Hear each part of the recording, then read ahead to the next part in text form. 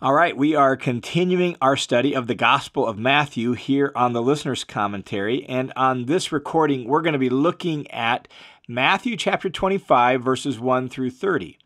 And as always, let's just make sure we recall the context. We're right in the middle of Jesus' teaching. He's just at the end of chapter 20, 4 called his followers, us, to be alert and prepared for his arrival, for his parousia, because it's going to come suddenly and unexpectedly.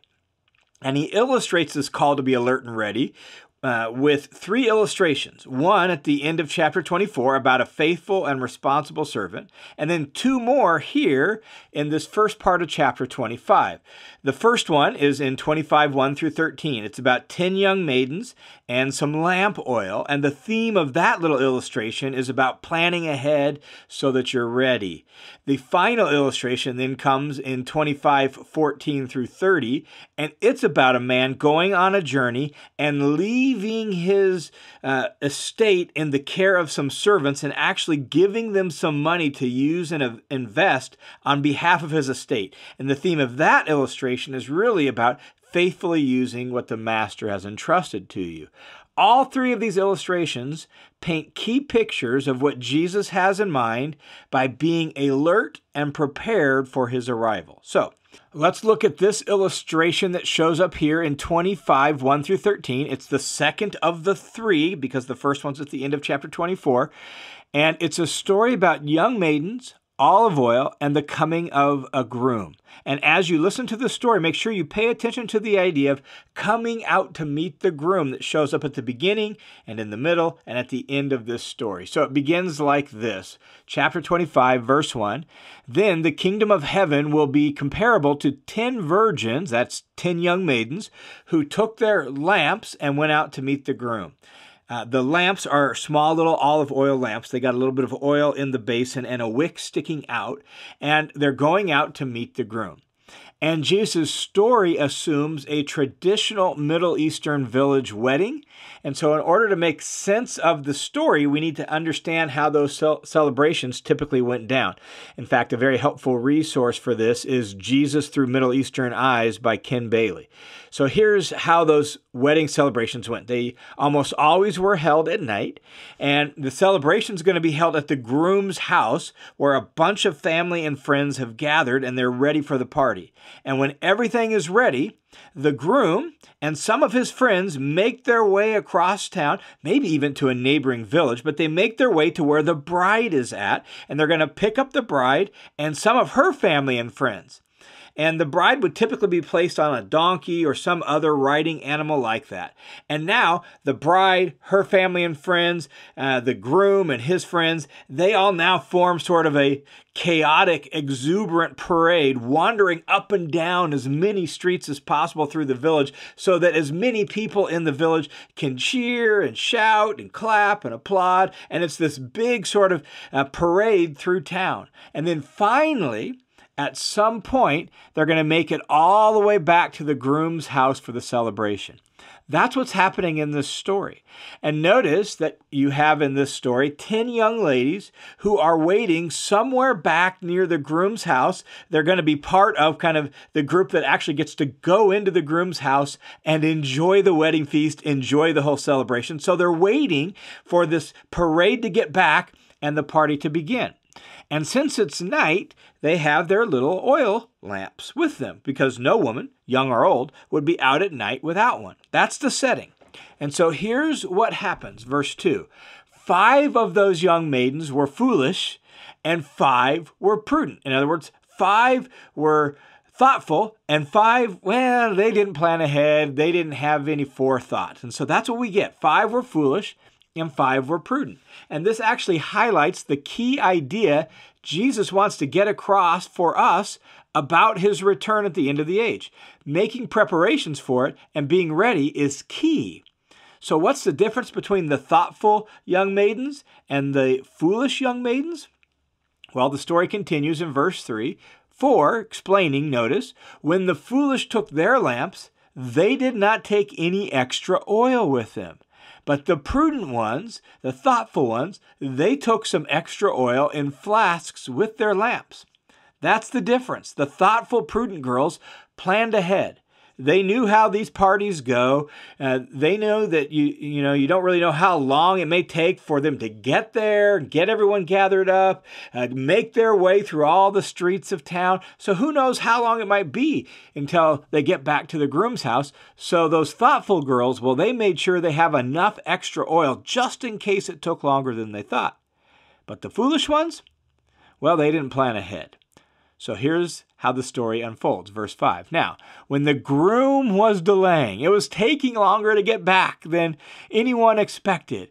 All these girls became drowsy and fell asleep. But at midnight, there finally was a shout Behold, the groom, come out to meet him. That's the whole point of this, right? Come out to meet him. And so, uh, the, as the groom finally gets closer, a runner runs ahead announcing his arrival so that everyone can come and join the parade and usher him back into his home, and the full on wedding and wedding party can happen. So, verse 7 all those virgins, the young maidens, got up and trimmed their lamps. So, roused from their sleep, the ten young girls jump up. They make sure their lamps are lit. And that's when the five foolish ones realize their mistake. Verse 8 But the foolish virgins said to the prudent ones, Give us some of your oil because our lamps are going out. However, the prudent ones answered, Oh, no, there's most certainly wouldn't be enough for us and you as well. Go instead to the merchants and buy some for yourself. It's the middle of the night. But this is a big celebration for the village, so people all over town are still awake. That's the whole point of the parade. Everyone usually knows everyone in such a village, anyhow. So go get some oil for yourself. That's what they tell them. There's not enough in our little flasks for our lamps and for yours. Go get your own oil. And so those five foolish ones hurry off to acquire some oil. But, verse 10, while they were on their way to buy the oil, the groom came, and those who were ready went in with him to the wedding feast, and the door was shut. A typical home in uh, this time and place would have a walled courtyard with a door facing to the street. And so, as the parade finally arrives at the groom's house, uh, they come to that door Everyone enters into the big courtyard. They shut and lock the door, and it's time for the wedding and the wedding feast. But the five foolish maidens, well, they're out looking for oil. So what happens when they finally come back? Well, look at verse 11. Yet later, the other virgins, the maidens, also came saying, Lord, Lord, open for up for us. They're pounding on that door uh, to the street and they're asking to be let in. And now in verse 12 and 13, we get the punchline of the parable. But he answered and said, Truly I say to you, I do not know you. And then Jesus tells us, here's the point be on the alert then, because you do not know the day nor the hour. That was the point he made at the end of chapter 24 about when his arrival would come. You don't know when it's going to happen. So you got to be ready at any moment because it's going to come at a time you do not expect. And what this parable reminds us, just by way of reflection, is that we need to be prepared for the long haul. The scary warning in this parable is that the five foolish uh, maidens represent people who consider themselves disciples. They're friends of the groom, but they really don't plan ahead to be ready at any moment. And so, guess what happens? They miss out. Faithful disciples make preparations to be ready at any moment and are prepared to be faithful over the long haul. And that's the point of this little parable that Jesus just told us. Well, Jesus follows this up with a third and final parable about his parousia. Remember, the disciples had asked him about the destruction of Jerusalem and about his coming. Most of chapter 24 is actually about the first question, the destruction of the temple in Jerusalem. But at the end of chapter 24, he shifts to talking about his coming. And then on into 25, he's still talking about that. And his point he makes about his coming is no one knows. Not even Jesus himself, he said, knows. Only the Father knows. So you need to be ready and you need to be alert. And so he's giving a series of parables or a series of illustrations about being ready. And so here, beginning in verse 14, is the final one. It says this For it is, that is, his arrival, uh, his coming is just like a man about to go on a journey who called his own slaves and entrusted his possessions to them. So Jesus is going to highlight three specific slaves, three specific servants, and each one is given a different amount of money to faithfully use on his master's behalf while his master is away. So to one, he gave five talents, to another, two talents, and to another, one, each according to his own ability, and he went on his journey. So the master is going on this journey, and he entrusts five, two, and one talents to different servants. Now, these, when we say five talents or two talents or even one talent, these are substantial sums of money. A talent roughly was about 20 years' wages for the average worker. Think of that 20 years' wages. So, five talents, well, that, that's more than the average person made in a lifetime. And even one talent, that's still a lot of money. So, these are huge sums of money. And as the story unfolds, Jesus tells us what each one of these persons does with the sums of money that's entrusted to them. So, verse 16 the one who had received the five talents immediately went and did business with them and earned five more. He doubled his talents. So now he has 10 talents, massive amount of money. In the same way, the one who had received two talents earned two more, went and did business uh, doubled his output, right? But he who received the one talent went away, dug a hole in the ground, and hid his master's money. He didn't invest it, he didn't do any business with it, he just buried it. The story continues in verse 19, and Jesus says, Now, after a long time, and I think that's just important to notice that. All three of the parables emphasize this, say this in some sort of way, that Jesus, uh, Jesus' return is appearing is probably a long way off, that there's waiting, there's watching, there's being prepared over the long haul. And here the phrase is very explicit. Now, after a long time. So the master's gone for quite a while. After a long time, the master of those slaves came and settled accounts with them. So he's entrusted him these large sums of money to to faithfully use while he's away. And so now it's time to settle accounts. And here's how that plays out. Verse 20. The one who had received the five talents came up and brought the five more talents, saying, Master, you entrusted five talents to me? See, I've earned five more talents.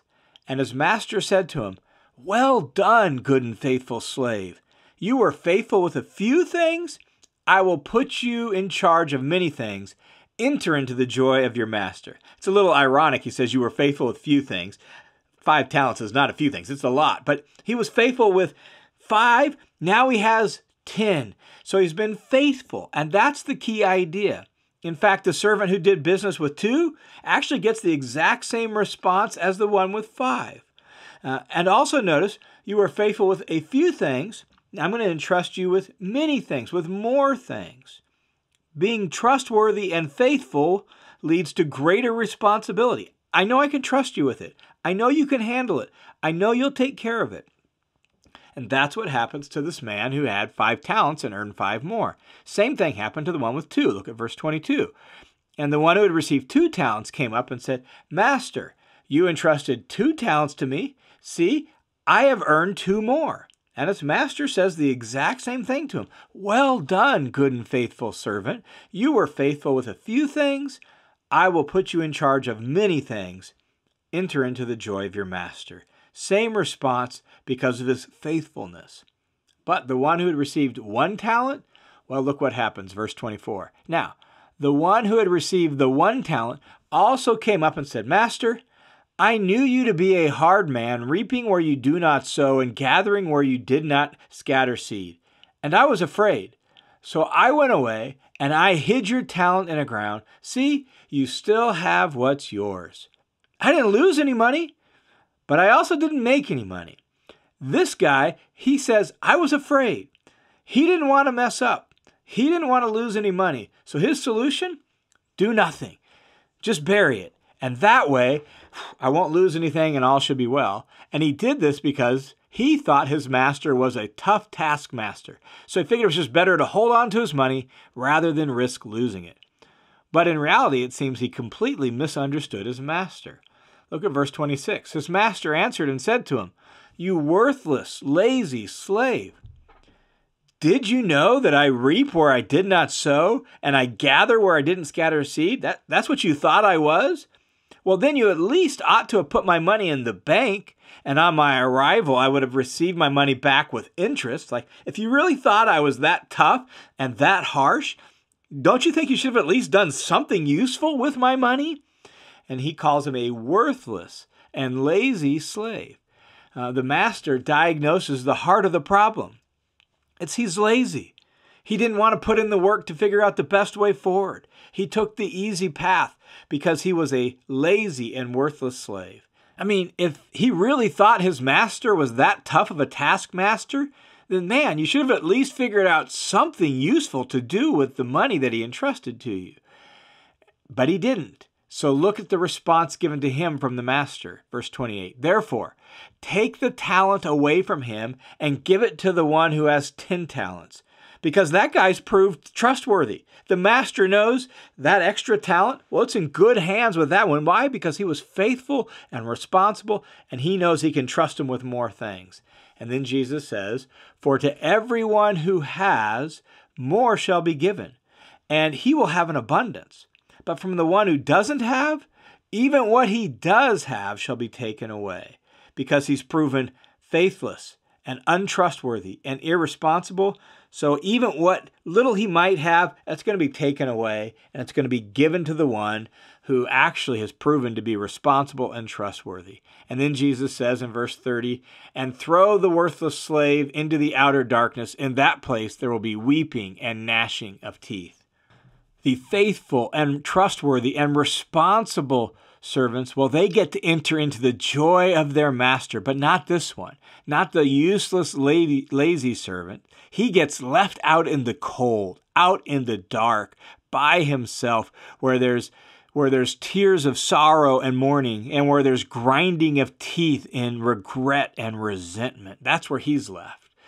And this last parable of the series of three reminds us that as we wait for the Lord's return, then our responsibility is to faithfully use what He's given us, to faithfully use what He's entrusted to us, however little or much it might be, to faithfully use it so that we can be ready for His arrival, to use it for His purposes, to use it according to His agenda, to use it for His good, so that when He returns, we can say, Look, Lord, you entrusted me with this, and as a result, I used it for your purposes, and here's what's to show for it. And he can say to you and to I, Well done, good and faithful servant.